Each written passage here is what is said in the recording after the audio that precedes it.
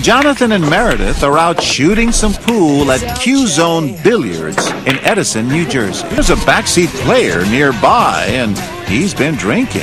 Should have split them, babe. I know. There's a $400 bet on the table. Let's do this, my friend.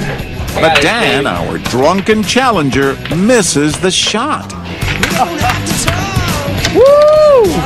And then he doesn't want to pay up. We're just joking, man.